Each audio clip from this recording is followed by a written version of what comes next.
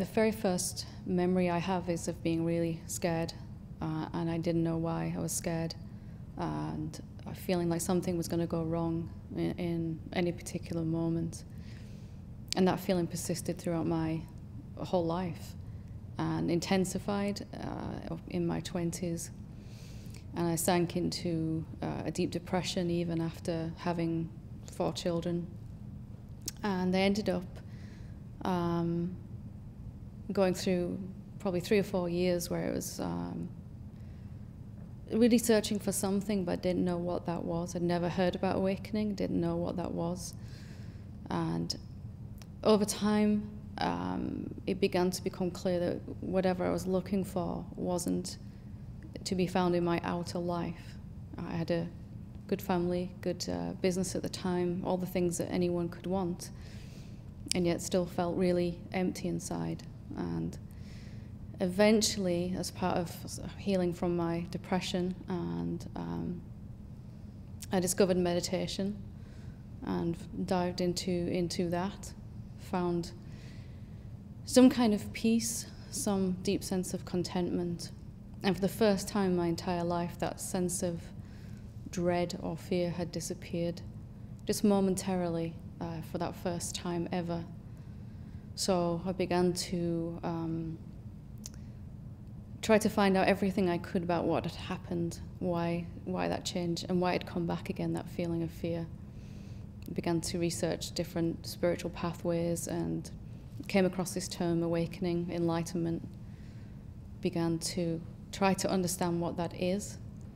Uh, eventually, um, 15, 20 years later, came to recognize that it is when we're not believing our thoughts anymore. Thoughts might still be going on, but the fear was uh, coming from believing my thoughts, believing that I was just a, a person, a someone who was um, going about my life. And I came to see I was a lot more than that. I am uh, uh infinite, and that over a period of five years, that began to uh, stabilize, for want of a better word. I had to look at everything that was coming up in the way of that the sense of um, not being a good enough parent, the sense of uh, this feeling of inadequacy in, the, in, in my core.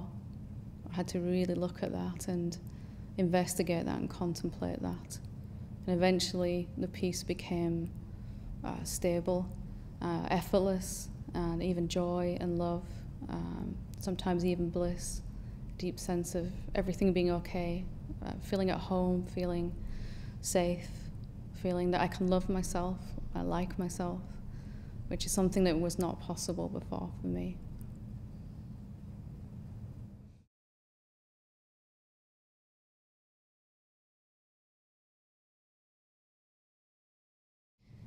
Uh, probably four or five years of, uh, from a first kind of glimpse to uh, something bigger about myself, to living as that stably, living as that effortlessly. Uh, and, that, and, that, was that process of uh, looking at things that were in contradiction to that, um, fears and insecurities. It's about four or five years.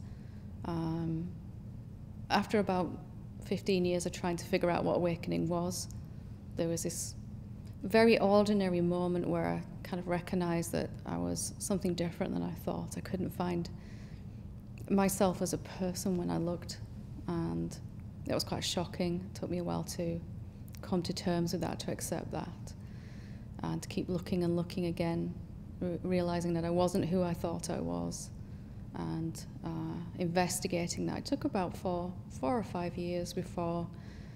Um, I just noticed that my life was different, very different. There was just this constant peace that was there the whole time.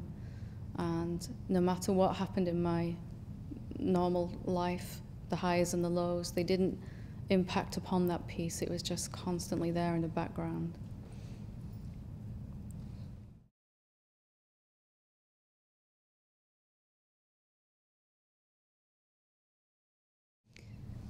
It's very, uh, very common that people have some kind of seeing that they're not a someone at all, that they are uh, uh, beyond the body, beyond the mind, inclusive of those. But then there is uh, the same old thought structure in our thinking. Our thought process starts right back up again in the same old way. And um, most people, uh, everyone I've met, needs this repetition of seeing over and over again to begin to override our old ways of thinking. There's this huge myth in awakening uh, that I, I believed that if I had a big enough seeing, it would just totally override all that old way of seeing myself. And it just wasn't like that. I had to look again and again. I find that with most uh, beings that I come across as well, they they need to look again.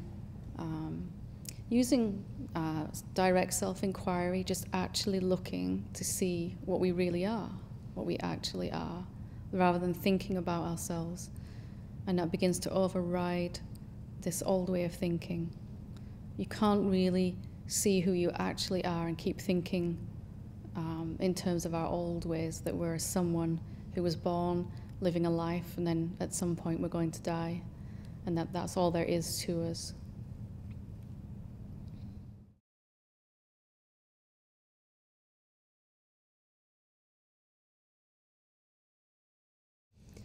Self inquiry is um, a really simple thing that not a lot of people understand initially. Um, it's not a thought process, it's an actual looking and seeing. So, if I look and try to see what I am right now, who I am right now, I can find a body here. There's a body sitting in this chair. There might be some thoughts, some emotions, but the one that all those belong to, who's using this body, who's having those thoughts, when we actually try to find it, it was quite surprising to me that it wasn't a someone.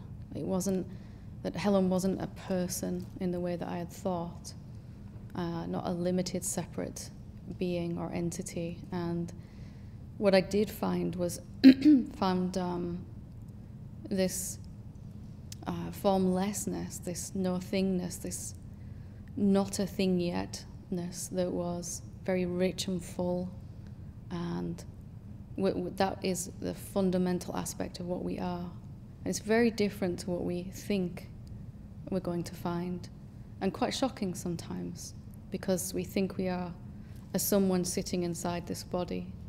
And when we actually look, rather than thinking about uh, who we are we find something very, very different.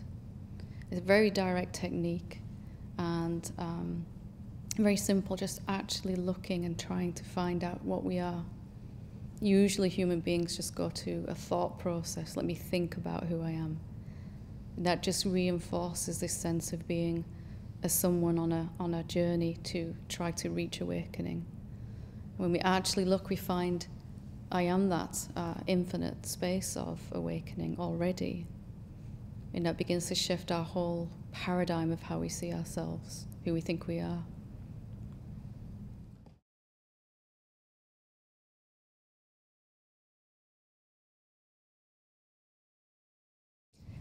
It's more like a, a scanning, a searching. Uh, we are here, that much we know, we do exist.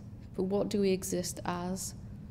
So if I try to find out what I am, I have to discount uh, temporarily everything that will disappear about me my body, my thoughts, my emotions, and then trying to find what's left.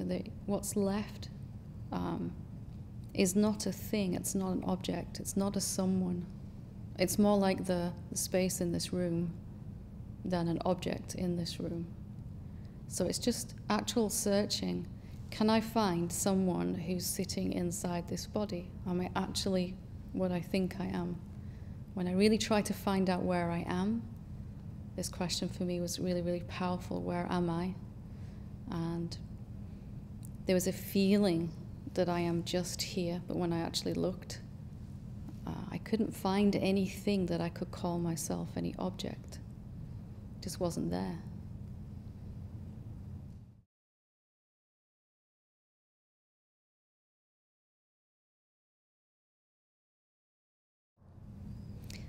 I really don't know what I am.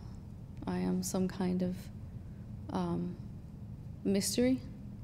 something that I can't see, something with my physical eyes, something I can't touch with my hands, and yet very much real, very much here, very much stable and present.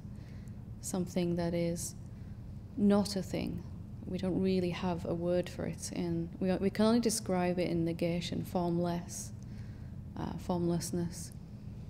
But that which we are, it can't be harmed. It, it wasn't born, it's not going to die. Our body was born and will die.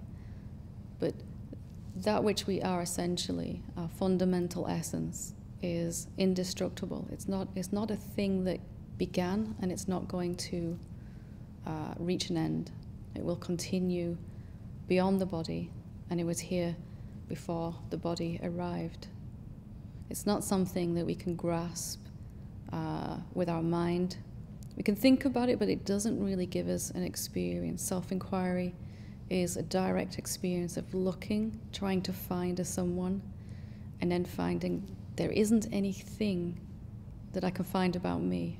There isn't any um, any part of my myself that's an object, a more subjective, experiential. There's experiencing happening right now but there isn't anyone who is experiencing. And that's the, the common belief that we have that my what my eyes are taking in right now is reporting to a central someone. When we actually try to find that someone, it's just not there and never has been. Our belief in uh, the idea that we are someone keeps it alive, keeps it seeming real, as someone with problems, someone on a pathway, someone on a journey.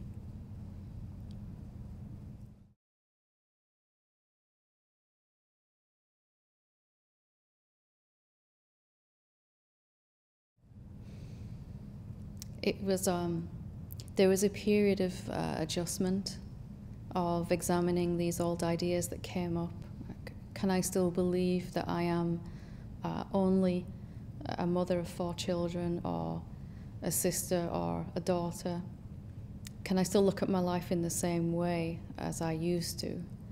If I am not a someone and I am uh, infinite, then my whole paradigm has to be kind of examined. And that happened for me bit by bit.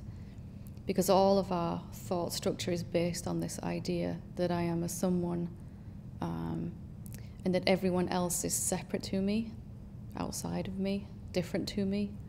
And that had to be examined uh, in all of my relationships, all of my uh, areas of my life. Everything over this period of four or five years came up to be examined from what I had seen myself to actually be rather than what I had thought about myself. Could I still keep believing that I wasn't um, a good enough parent or um, that I didn't know what I was here for and all of that stuff? from this new understanding and seeing of who I actually am. So it took a while to investigate all that and see that the old thought structure just wasn't true, wasn't um, wasn't who I really am. That my mind was talking about some old idea of who I am, and didn't really have any relevance to who I actually am, what I actually am, which is very different.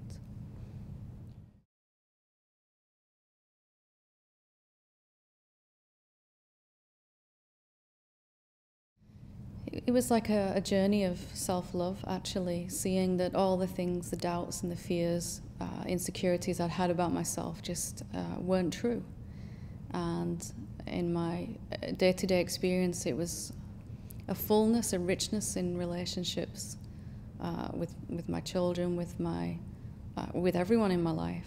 There was an intimacy, a depth there that just wasn't possible before because if I was meeting someone thinking I am uh, someone, Helen is a someone, then there's this thing going on in the background for most human beings. Like, uh, do you like me? Uh, am I, you know, going to be useful? am I going to be safe?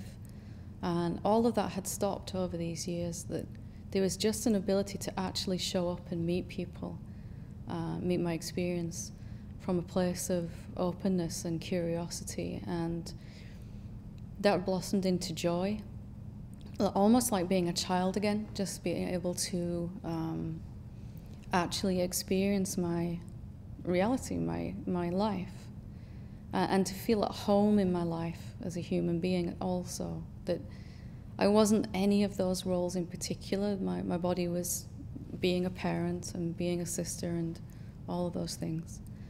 But um, I was watching that happening from this place of stability where uh, nothing that happened in my experience could impact that. So it was this shift over very gradually from uh, this background of fear, this insecurity, um, to confidence, clarity, peace, joy, uh, deep sense of love began to emerge for, from my own body and mind and for everyone else's because they're not who they think they are either. They are already something much more uh, profound and wonderful. So it was a shift over, but a very different way of living and very beautiful, very spontaneous and natural. If we can just stop believing this idea that you wake up once and that's it, and recognize that it's more of a process, a gradual unfolding, then we can go through that without suffering at all. We won't expect ourselves to be any particular way in any moment. We won't expect ourselves to be completely free of the mind right now. And there is some kind of um, revelation in that that it really doesn't matter if I go back to believing something. Uh, if I'm watching for that and expecting for that, I won't blame myself when it happens.